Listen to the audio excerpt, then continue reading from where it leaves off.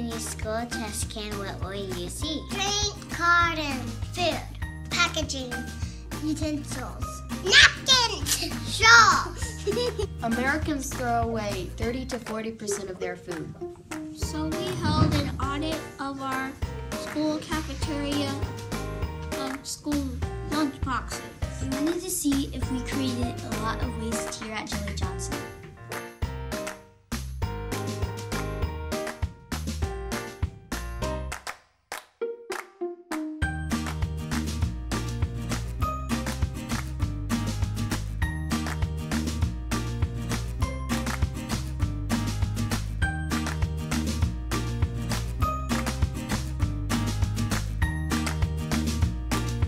So the food was five pounds, the plastic was 2.24 pounds, the paper was 0.14 pounds, and the other was 3.25 pounds. Was 3.25 pounds.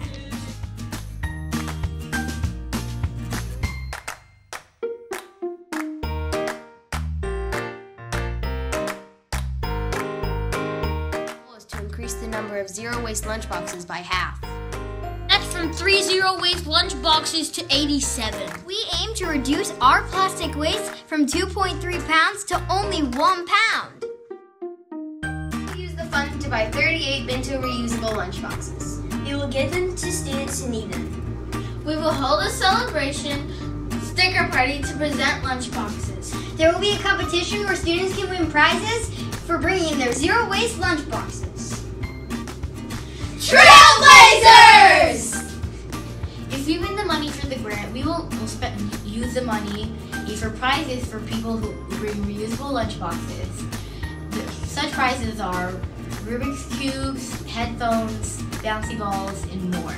If they bring their reusable lunchbox for one day, they will receive a mini prize. If they bring their reusable lunchboxes for three days, they'll receive a medium prize. And if they bring it in for five days, the whole week, they will be entered into a draw for the grand prize. This way, we can reduce the amount of trash that goes into the trash bins that can also be recycled. Thank you for er, listening. Thank you for the opportunity.